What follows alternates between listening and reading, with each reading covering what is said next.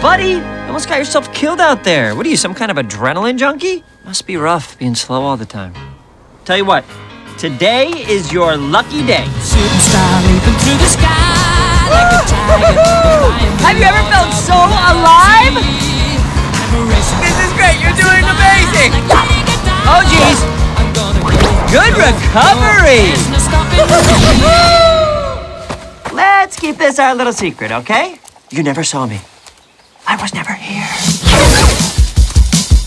Don't stop me, don't stop me, don't stop me. Hey, hey, hey! Don't stop me, ooh, ooh, ooh. Don't stop me, don't stop me. Have a good time, good time. So what were you expecting? A dirty little hedgehog eating berries and struggling to survive? Think again, because I am living my best life on Earth. I've got a library, a home gym, and a state-of-the-art security system. Memories, that's why they call me Mr. Fahrenheit. Traveling at the speed of light. What if they go supersonic Oh no. And if I'm ever discovered, I'll follow Longclaw's instructions and use my rings to escape to a new planet. A nice, safe little world filled only with mushrooms. Gross, smelly mushrooms. I hate mushrooms. But let's not worry about all that. This is Green Hills, the greatest place on earth. These are my people, and dare I say, I am their lovable space creature. So what if they don't know I exist? My favorite person is the Donut Lord, protector of this town, and defender of all creatures big and small. Morning.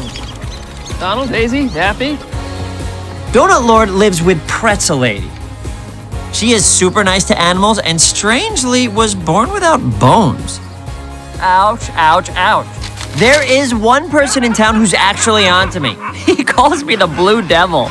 I almost caught him last night. Say hello to Crazy Carl. We have fun together. I know you're out there, and I know you're real. No, I'm not. Movie night is my favorite. Please, please, please, please, please. Yes, Keanu! You are a national treasure. When I find you, Pop quiz, hot shot. There's a bomb on a bus. Pop quiz, hotshot. Mwah, It's a classic line. Basically, we're like a family, even though we haven't met yet. You don't think your prolonged isolation is making you a bit crazy, perhaps? Crazy? Me? No way, Doc. You got me all wrong. And despite all these so called friends of yours, deep down, you are still rather lonely?